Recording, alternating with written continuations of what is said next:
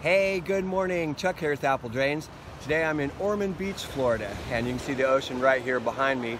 We are going to be doing some work here on a crawl space, and it might surprise you that there are actually crawl spaces this close to the ocean. But these homes were built back in the 1960s, and that's a typical foundation that we'll find between the ocean and the intercoastal, which is right over here. So it's Ormond Beach, anything that has a beach is an island.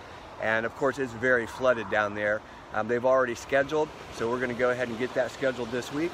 We'll get some video of that for you. so as, you can see, this is a flooded crawl space. We're actually just right between the Atlantic Ocean and the intercoastal. Um, this island's about a mile wide, maybe three quarters of a mile wide. This home's been empty. People just bought it. They're going to rehab it. And of course, through the past couple hurricanes, this has flooded dramatically and they just got the power on here. They just purchased the home and they're going to rehab it. Uh, be a great project and really they got a great buy on the home. We're only a half a block from the ocean.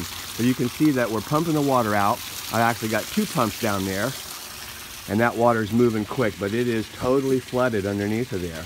So I've got two half horsepower pumps. One's discharging out to the back and it's quick, but this one's pumping out I would say there's about 8,000 gallons of water in this crawl space. It's a huge home, so a lot of water has collected underneath of there. So we're going to mix up this video a little bit. Let me show you one of the things that are needed um, when you're working with sump pumps and a lot of water. I mean, we have so much groundwater here. This is what we had to do. The county actually came by and said, we want you to, to core the curb. So let's take a look at how we do that. So we're just about through. It takes about 10 minutes or so, maybe 12, but didn't take long.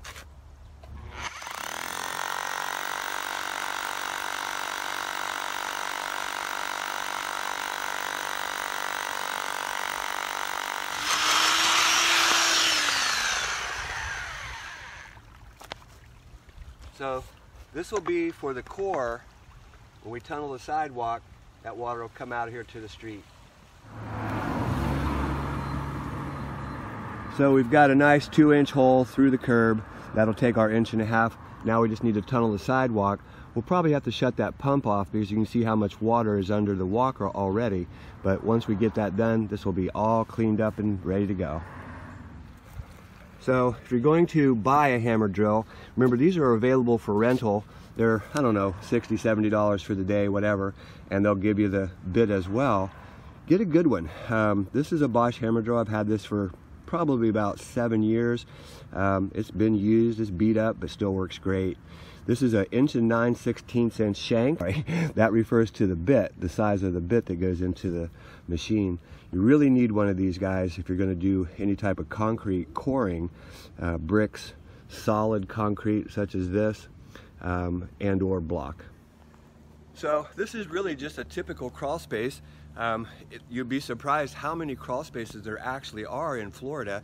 And even on an island like this, remember this is an island, Ormond Beach. Beach refers to it being an island. Intercoastal, sorry, intercoastal is right over here, just a couple of blocks, and the Atlantic Ocean is just above those houses that you see behind me. So a lot of water moving through this area, and this home was vacant for many years. So it, it, went through two hurricanes without any attention. And there are some structural issues down below. I'm going to show you those once we get down there and how to correct that as well. Be sure to watch the next couple of episodes.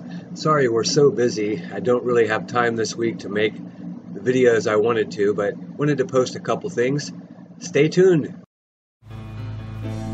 Hey, this is Chuck with Apple Drains reminding you that if you believe you can do something, I guarantee you can do it. Have a great day.